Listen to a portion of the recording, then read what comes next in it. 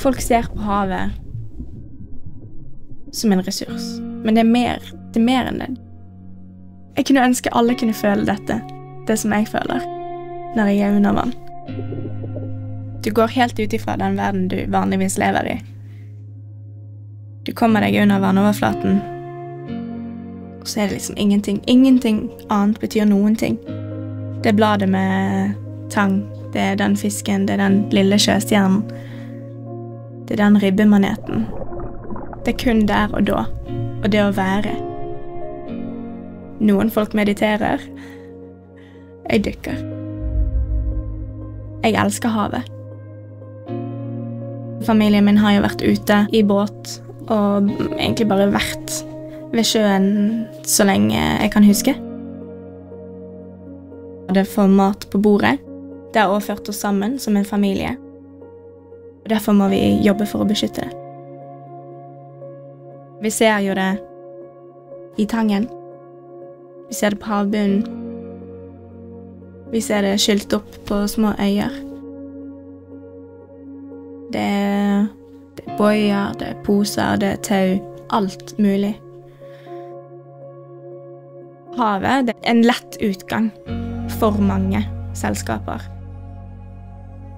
Der kaster vi ting. Men havet er ikke boss. Det er ikke et bossband.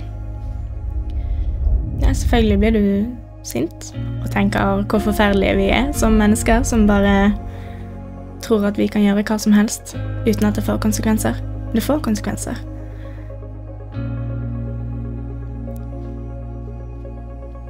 Skal vi ikke prøve å jobbe så godt vi kan for å beskytte det vi har?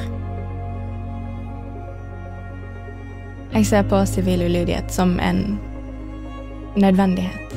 Fordi når alle andre lovlige veier ikke funker, da må man jo gjøre noe annet. Dette her er jo den siste utveien. sant? Vi har jo andre ting vi gjør òg.